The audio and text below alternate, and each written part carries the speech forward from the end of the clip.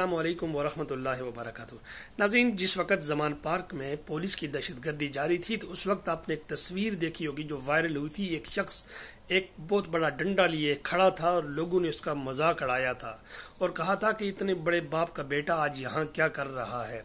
उस वक्त लोग नहीं जानते थे कि वो जो बड़े बाप का बेटा वहाँ खड़ा है, वो किसी छोटे मिशन पर नहीं खड़ा, बल्कि वो एक बड़े मिशन पर खड़ा था।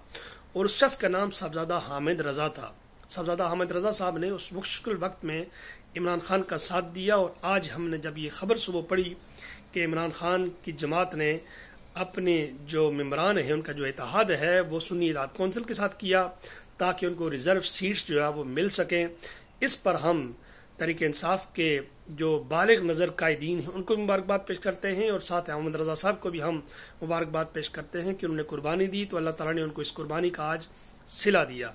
और वो लोग जिनको हम कहते रहे कि इमरान खान का साथ दें, इमरान खान का साथ दें, लेकिन उस वक्त उन लोगों ने हमें बहुत बुरी बुरी सुनाई। आज यकीन उनकी कोई हैसियत जो है वो सियासत में नहीं है, क्योंकि वो लोग अपनी एक एक सीट उनके कायदीन तक भी, एक सीट तक जो है वो नहीं निकाल सके।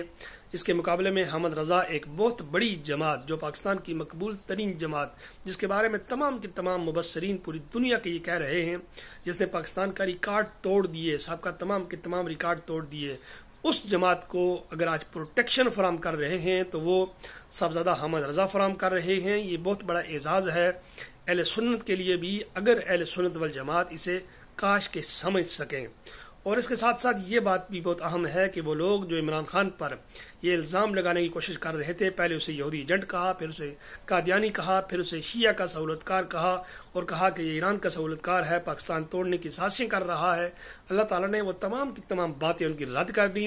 अल्लाह पाक ने एक बार फिर इमरान खान को भी सुरखरू किया, अल्लाह ताला ने फिर एक बार सफरदा अहमद रज़ा को भी सुरखरू किया और हम इस इतात पर दिल की अथा गहराइयों से सबजादा अहमद रज़ा खान सबजादा अहमद रज़ा जो हैं उनको मुबारकबाद भी पेश करते हैं और उनकी जो बालिग नज़र सोच जो थी, जो उन्होंने उस वक्त दूर दूर रस फैसला किया, एक मुश्किल वक्त में मुश्किल स्टेप लिया, गिरफ़्तार भी हुए, सब कुछ हुआ, लेकिन इमरान खान का साथ नहीं छोड़ा और आज वो उसके समराज यकीनन समेटेंगे। हम उनको फिर मुबारकबाद पेश करते हैं। उनकी सारी टीम को, उनकी सारी जमात को, जिस, जिसने भी उनका साथ दिया और वो लोग जो जमात इस्लामी ने भी बड़ी कोशिश की कि वो पीटीआई की पकी हुई देग में चमचा लेकर बैठ जाए चावल निकालने के लिए, लेकिन वो नहीं निकाल सके। और कामयाबी अहमद रज़ा को ही हम फिर मुबारकबाद पेश करते हैं इस उम्मीद के साथ कि वो बैसीत एक अजीम सुन्नी बाप के बेटे के, और एक अजीम सुन्नी आलम दीन होने के नाते वो इन लोगों को भूल जाएँगे जिन्होंने साथ नहीं दिया, जिन्होंने उनकी मुखालफत की, जिन्होंने उनके बारे में बहुत कुछ लिखा, बहुत कुछ कहा। सोशल मीडिया गवाह है हर हर चीज़ का, लेकिन उसके बावजूद इन उम्मीद करते हैं कि वह बैसीत सुन्नी ज़रूर अल सुनत वल जमात के लिए अपनी कोशिशें जारी रखेंगे। अल्लाह ताला उनको मजीद सुरखरू अता फ़रमाए, मजीद बरकतें अता फ़रमाए। हम दिल की अदा गहराइयों से उनको मुबारकबाद पेश करते हैं।